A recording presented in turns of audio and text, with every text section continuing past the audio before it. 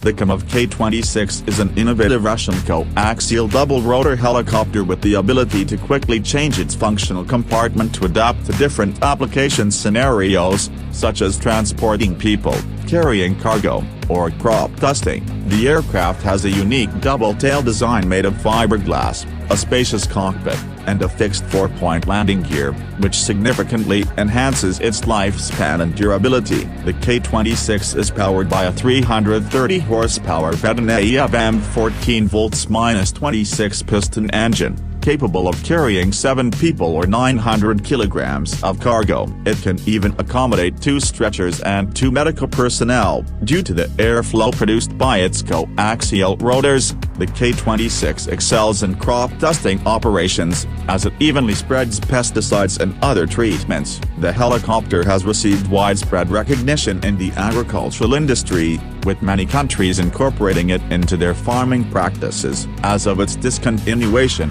in 1985, the Ka-26 had a total production volume of more than 810 units and made significant contributions to the fields of agriculture and aviation, solidifying its place in aviation history as a note for the Milestone Project.